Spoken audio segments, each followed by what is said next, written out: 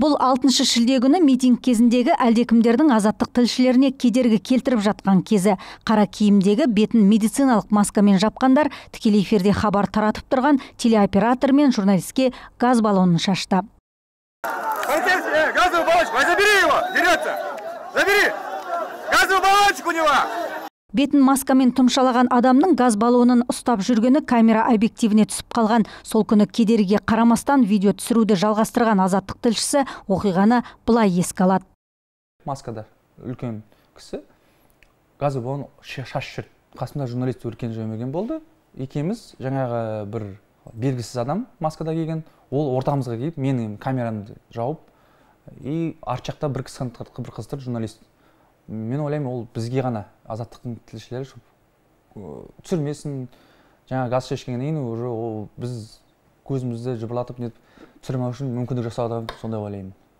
Журналистер қара киімдегі адамдардың кедергісі туралы полицияға бірнеше рет ескерткен. Бірақ тәртіп сақшылары оларды бірнеше рет ұстағанымен қайтадан босата берген. Тіпті қалалық полиция басқармасы басшысының бірінші орынбасары бақытжан малыбаевтың бетіне қолшатыр тисе де ол оған мән бермеді. Бүгінгі үкімет отырысында журналистер осы мәселе жайында ішкі істер министрінің өзінен сұрады чуть ли не ударили господина Малыбаева по голове. При этом он, сказ... он не отреагировал, и при этом он сказал, что он их не видел.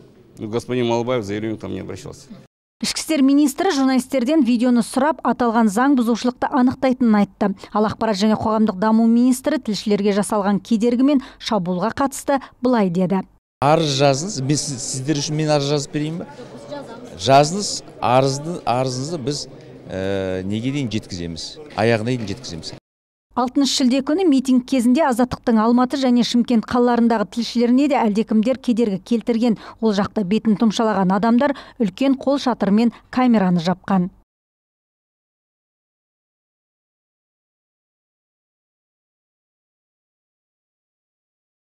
Азаттық тілшілерінің жұмысына белсенді түрде кедергі келтіру биылғы 22 наурызда нұрсұлтан мен алматы қалаларында өткен наразылық кезінде басталды. Ол кезде оннан астам жас азамат телеоператордың камерасын қағазбен көлегейлеп журналистке ақпарат таратуға мұрсат бермеген.